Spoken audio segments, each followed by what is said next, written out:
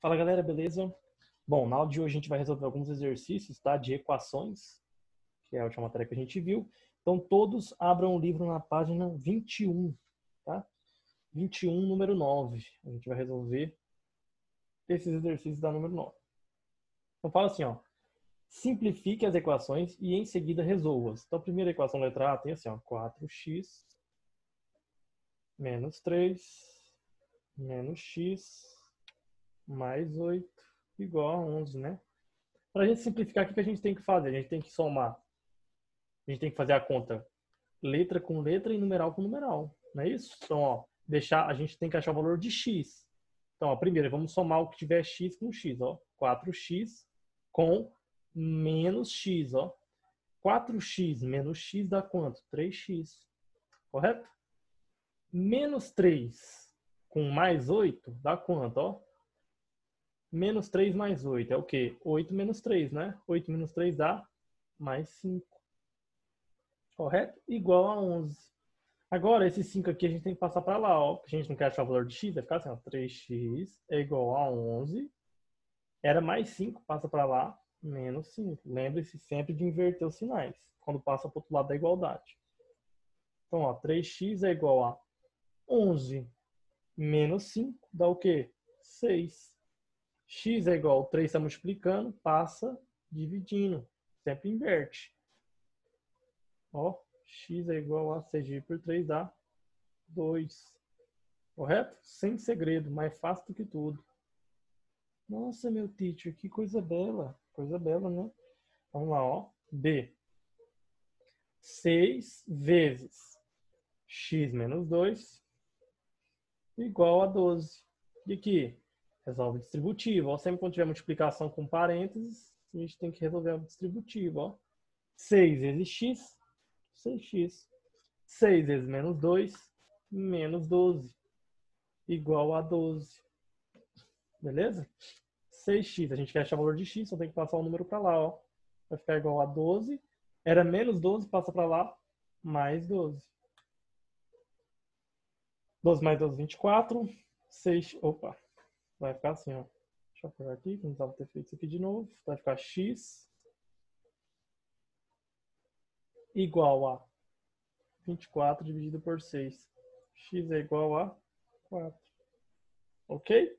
Simples, fácil e leve. Ó, C. Uma ó. 9 mais 2 vezes 5x menos 4 igual a 21. Nossa, Pete, e agora? Primeira coisa, na expressão numérica, a gente tem que fazer a multiplicação, não é? Então, essa parte aqui, ó. Tá multiplicando, ó. 2 vezes 5x e 2 vezes menos 4. Então, vamos repetir o 9, mais 2 vezes 5x dá 10x. 2 vezes menos 4 dá menos 8, igual a 21. 9 menos 8 dá 1, não dá? Então vai ficar assim, ó, 10x mais 1, sobrou 1, né? Igual a 21. 1 passa para lá, 10x é igual a 21, era positivo, passa negativo. 10x é igual a 21 menos 1 dá 20. x é igual a 20 sobre 10. Corta aqui, corta aqui, x é igual a 2. Ah, que fácil. Facinho. D a gente tem ó, 10x mais 4 vezes 3 menos 2x menos 6 igual a 8. Pelo amor de Deus, gente, sempre na expressão numérica vem primeiro multiplicação e divisão, tá? Então, o que tiver somando, esquece, ó. Vai repetir 10x mais 4 vezes 3 vezes menos 2. 4 vezes 3 dá 12. 4 vezes menos 2x dá menos 8x. Menos 6 igual a 8. Ó. 10x menos 8x dá o quê? 2x. 12 menos 6 dá 6. Igual a 8. 2x é igual a, passa para lá. 8 menos 6. 2x é igual a 8 menos 6 dá 2. x é igual a 2 sobre 2. x é igual a 1. Ok? Ok. Letra E. Ó. Vamos escrever aqui, ó.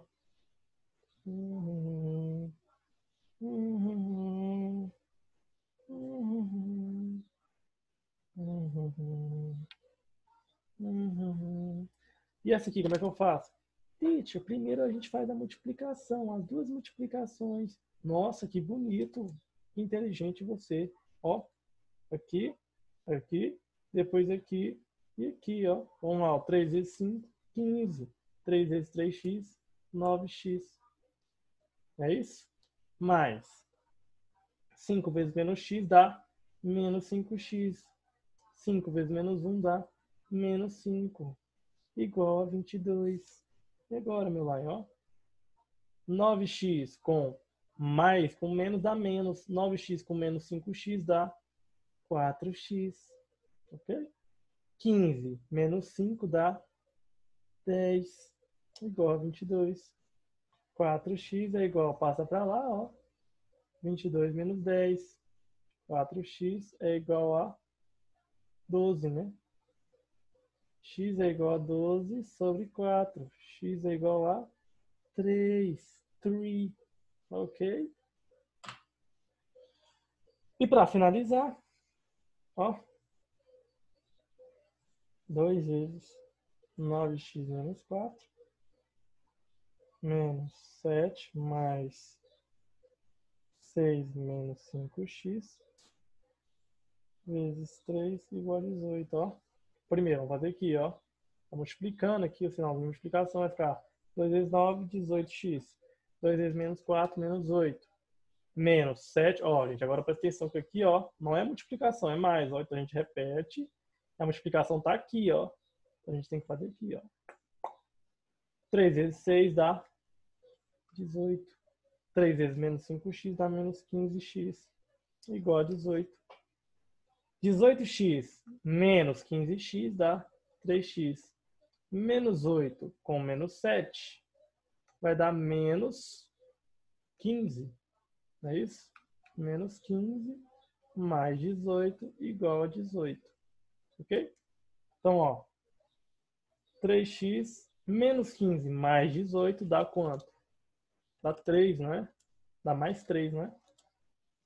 Eu tenho 18 de uma coisa e devo 15, eu vou ficar com 3. Então vai ficar aqui, ó, mais 3 igual a 18. O 3 passa para lá, subtraindo, né? 3x é igual a 18 menos 3. 3x é igual a 15. Deixa eu vir para cá agora, ó x é igual a 15 sobre 3. x é igual a 5. 5, teacher. 5. Jackson 5. Ok? Né? Cara, essa foi nossa aula, gente. Eu não vou deixar tarefa para vocês hoje, tá? Na próxima aula a gente resolve na próxima live, né? E a aula a gente resolve mais alguns exercícios de equações, tá ok? E foi isso, beleza? Espero que tenham gostado e até a próxima. Valeu!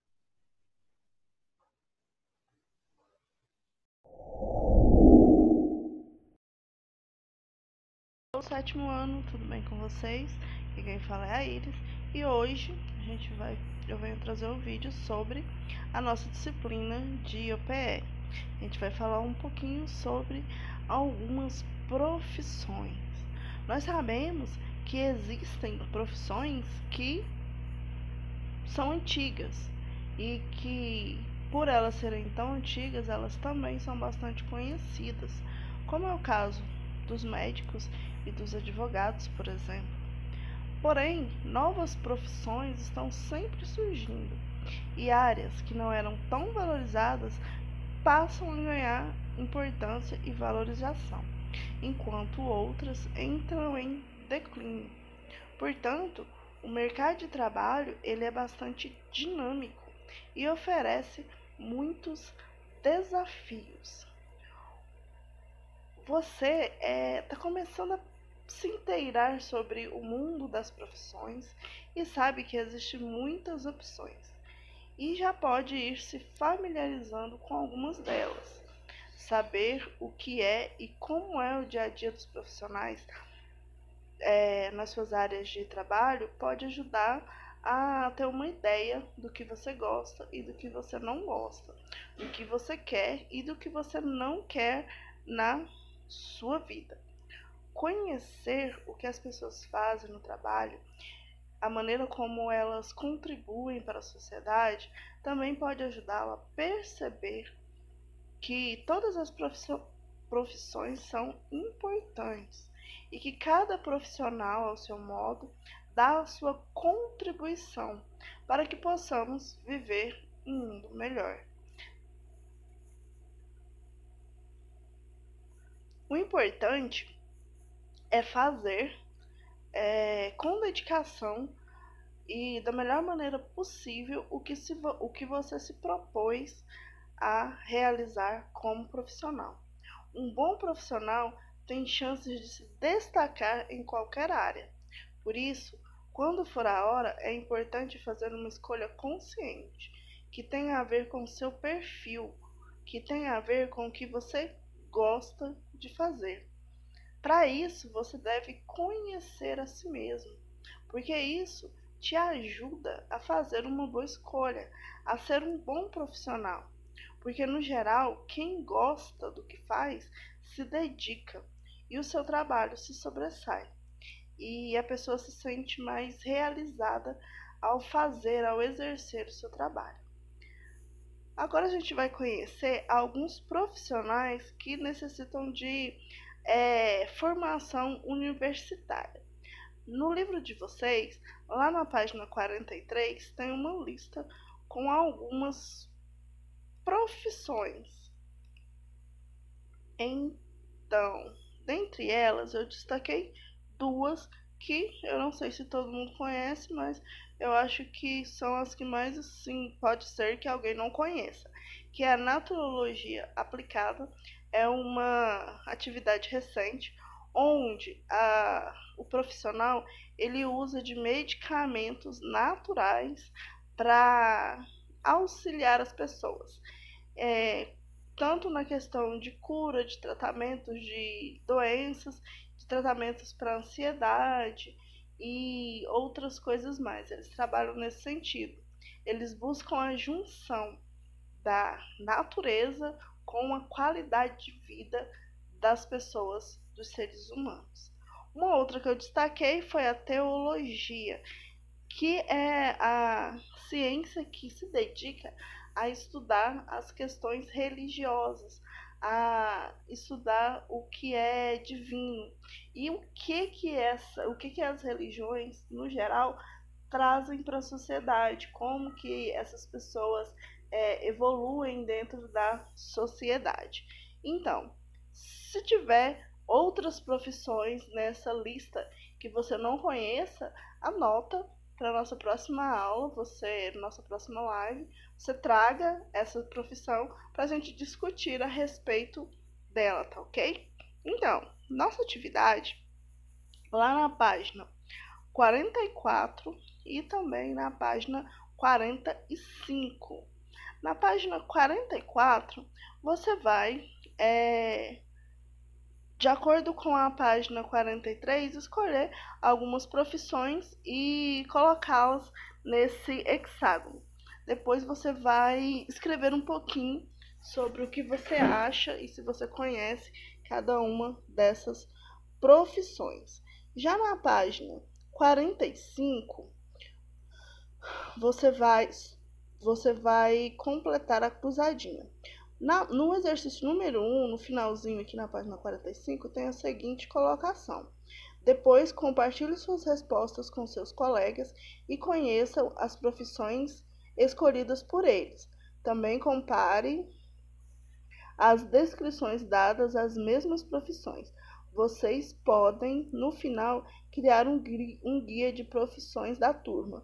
Esse guia das profissões vocês vão responder e quando nós voltarmos para as nossas aulas presenciais, nós vamos fazer ele juntos, tá ok? Então, é esse daqui, esse finalzinho não precisa fazer.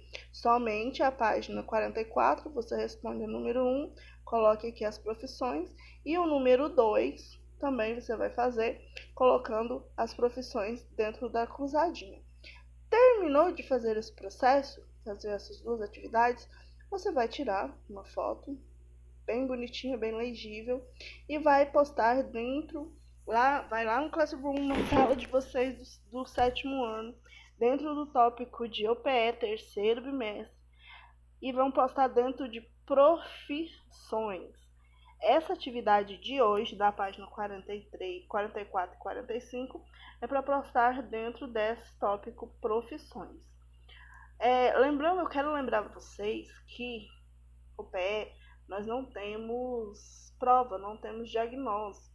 Então, a nota de vocês, elas, ela vai ser gerada a partir dessas atividades. Já tem uma atividade fazendo boa, uma boa escolha.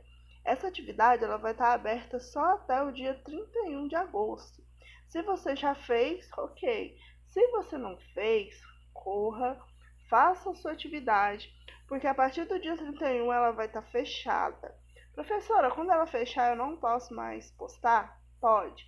Porém, todas as atividades postadas com atraso, elas vão ter menor valor. Elas vão valer só a metade da nota. Então, para você não ficar prejudicado, para sua nota não ficar prejudicada, poste antes da data do dia 31 de agosto, tá ok? No mais, galera, beijos para vocês. Qualquer dúvidas, vocês podem me procurar, tá ok? Beijinhos e até a próxima aula.